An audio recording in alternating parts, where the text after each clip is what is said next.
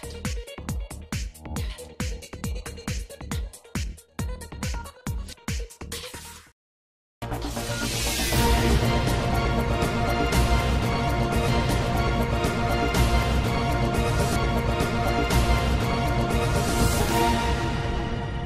हमीरपुर में दिवाली पर्व के लिए बाज़ार पूरी तरह से सज चुका है, लेकिन इस बार दुकानदारों को दिवाली के त्योहार से पहले मंदी के दौर से गुजरना पड़ रहा है, चाहे बात गांधी चौक की हो या फिर सब्ज़ी मंडी या फिर बोटा चौक की। पूरे बाज़ार में दुकानदार मुनाफे को लेकर ग्राहकों के इंतज़ार में दिख रहे हैं। हालाँकि दिवाली के आसपास दुकानदारों को सेल बढ़ाने की उम्मीद रहती है, लेकिन इस बार सेल कम होने से दुकानदार परेशानी झेल रहे हैं। एस के संवाददाता राजकुमार ने हमीरपुर बाज़ार में दुकानदारों के साथ विशेष बातचीत की, जिसमें दुकानदारों ने अपना दर्द कैमरे के सामने बयान किया।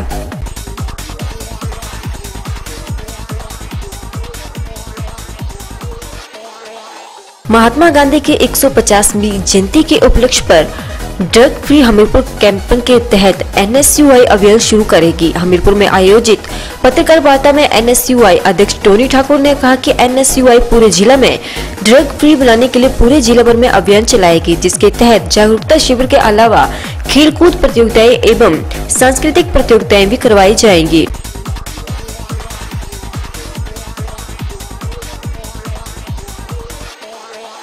टोनी ठाकुर ने कहा कि हमीरपुर में पिछले कुछ दिनों से नशे ने मक्कड़ जाल फैलाया हुआ है, जिसके चलते युवा नशे के जाल में फंस चुके हैं। उन्होंने कहा कि एनएसयूआई के द्वारा आगामी दिनों में पूरे जिला में अभियान चलाकर ड्रग फ्री हमीरपुर बनाया जाएगा। उन्होंने बताया कि प्रतियोगिता में अव्वल रहने वाले युवाओं को एनएसयूआई की ओर से पुरस्कार देकर भी सम्मानित किया जाएगा।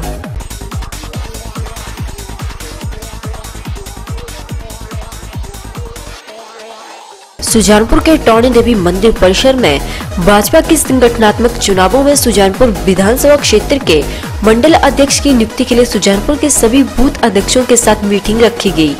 चुनाव प्रभारी यशपाल ठाकुर और हिमाचल के पूर्व मुख्यमंत्री प्रेम कुमार धूमल ने भी विशेष तौर से भाग लिया सुजानपुर क्षेत्र के सभी बूथ अध्यक्षों की सहमति वीरेंद्र ठाकुर पर दिखी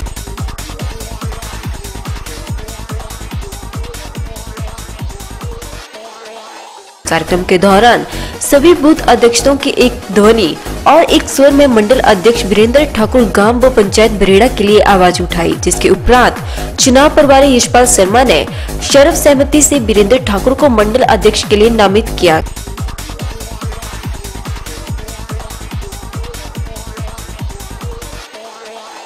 कार्यक्रम के दौरान कैसे बनाए धूमल ने भी सभा में उपस्थित सभी कार्यकर्ताओं को एकजुट होने पर धन्यवाद व शुभकामनाएँ दी। उन्होंने कहा कि आने वाले चुनावों के लिए सभी लोग इसी प्रकार से मिलजुल कर कार्य करें और भारतीय जनता पार्टी और मज़बूत बनाए। धूमल ने पूर्व मंडल सदस्यों और अध्यक्ष कैप्टन रंजीत सिंह का भी धन्यवाद किया और कहा कि उन्होंने पिछले लोकसभा चुनावों में मंडल की दिन रात मेहनत की। वजह से लोकसभा के नतीजों ने आसमान की बुलंदियों को छू लिया है। इसके लिए सुजानपुर की जनता हमेशा उनकी आभारी रहेगी।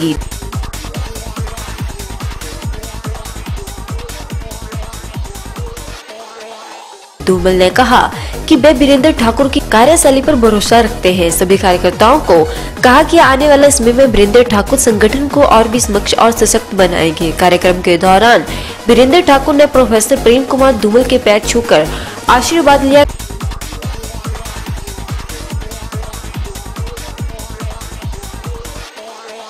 कार्यक्रम में पूर्व मंडल अध्यक्ष कैप्टन रंजीत सिंह, जिला परिषद चेयरमैन राकेश ठाकुर, महामंत्री अनिल शर्मा, पवन शर्मा मीडिया प्रभारी विनोद ठाकुर, प्रदेश कार्यकारिणी सदस्य बीरेंद्र ठाकुर, सुमन चौहान, भाजपा के कार्यकर्ता उपस्थित रहे।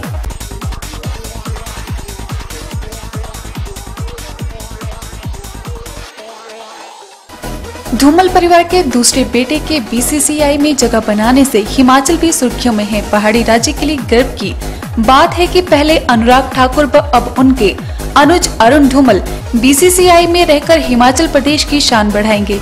चेहरे पर हर वक्त मुस्कुराहट बिखेरने वाले अरुण का यूँ तो बीसीसीआई का कोषाध्यक्ष बनना बीती 14 अक्टूबर को ही तय हो गया था, चूँकि अंतिम दिन उनके अलावा किसी और ने नामांकन दाखिल नहीं किया था। खैर, इसकी आधिकारिक घोषणा आज हुई है। अरुण इससे पहले सितंबर में ही हिमाचल प्रदेश क्रिकेट एसोसिएशन के अध्यक्ष चुने गए थे।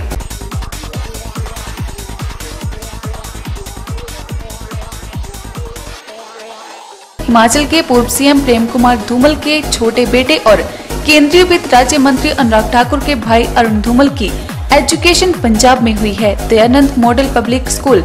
Jalandhar में शिक्षा ग्रहण करने के बाद उन्होंने जलंधर से ही इंजीनियरिंग की। बाद में हिमाचल प्रदेश विश्वविद्यालय शिमला से एमबीए की है। इंजीनियरिंग के दौरान वे कॉलेज टीम के कप्तान भी रहे हैं। वे जलंधर स्थित दिल्ली पब्लिक स्कूल के प्रबंध निदेशक भी हैं। वर्तमान में अरुण धूमल एचपीसीए के अध्यक्ष हैं। पहले वे हिमाचल क्रिकेट एसोसिएशन की अंतरिम कमेटी के सदस्य थे। एचपीसीए की अंतरिम कमेटी के सदस्य होने से पूर्व जिला खेल संघ हमीरपुर के अध्यक्ष भी रहे हैं।